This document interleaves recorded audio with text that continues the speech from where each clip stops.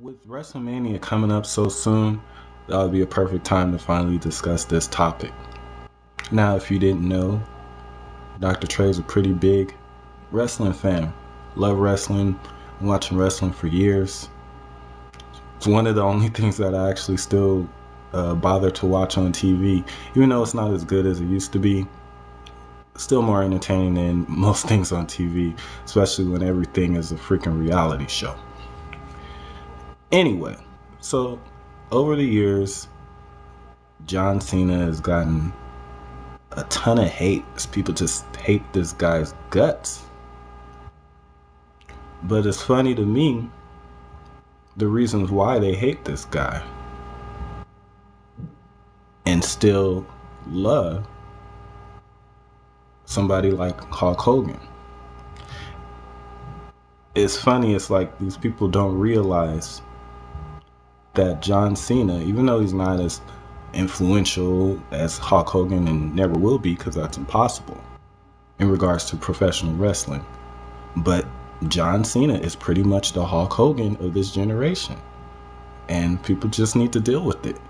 They bash John Cena. The things they bash John Cena for are the same things that made Hulk Hogan popular.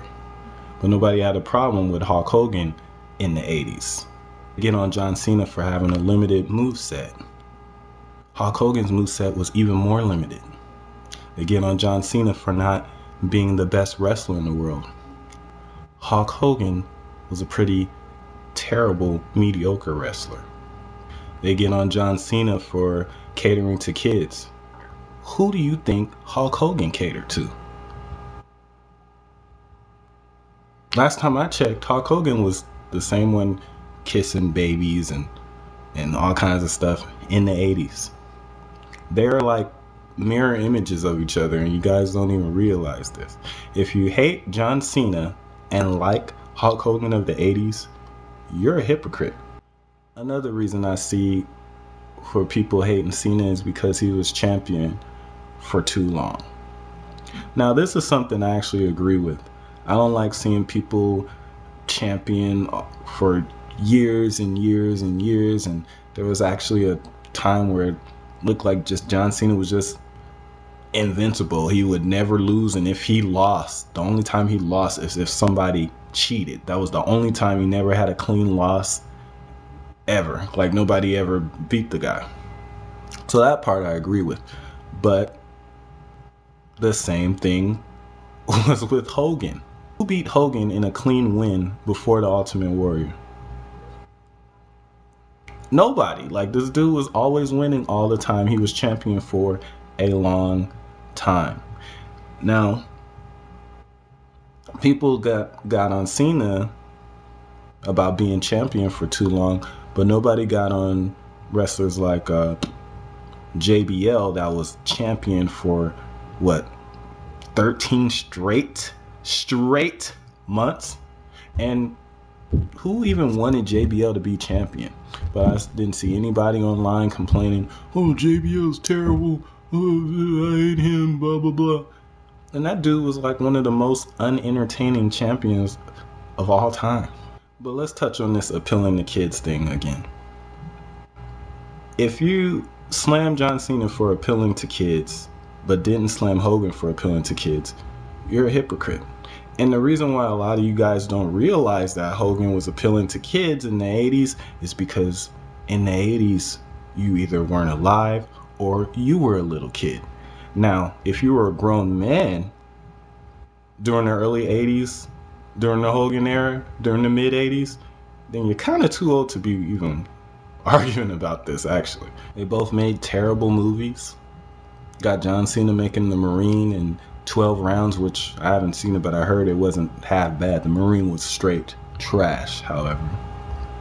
But then we got Hogan that made No Holds Barred, fighting Zeus, aka Debo from Friday in a cage. Really?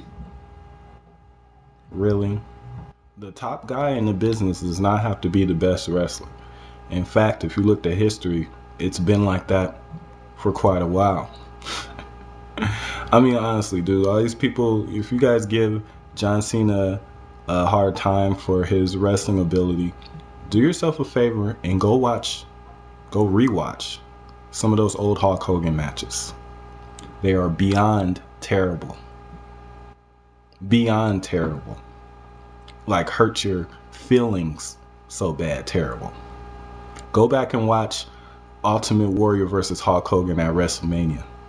Terrible.